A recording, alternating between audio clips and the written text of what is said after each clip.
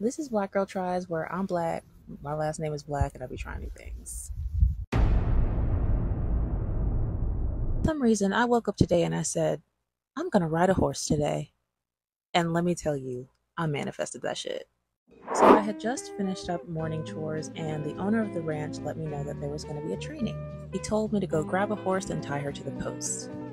When I came back, he said to the horse, Will Zoe be riding today? I squealed internally. No, actually, I think I squealed out loud.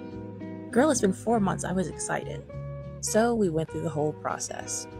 And over the next hour, I was in for the test of my life. There are a number of walking maneuvers he asks you to do to judge whether you're ready to ride or not. This all sounds real simple, right? Wrong. Because as I mentioned, you're doing all this with a thousand pound horse that got its own mind and childhood trauma. At first, it seemed like I was doing a good job, but then I started getting in my head.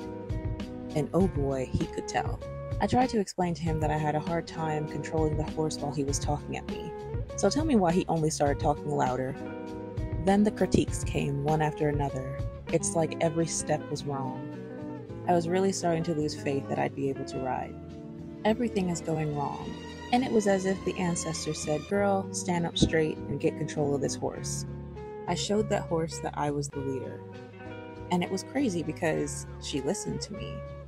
Then I hear the horse trainer shouting, Yes, I'm trying to piss you off. And then I realized, this is this the Karate Kid? I'm confused. That's what he was trying to do all along. He knew that he had to piss me off to get that leader out of me. It was crazy, it was emotional, it was like borderline therapy. But after that crazy training where I almost broke down in tears, I guess I was ready to ride. While on the trail, he let me hop on Diva, the boss mare.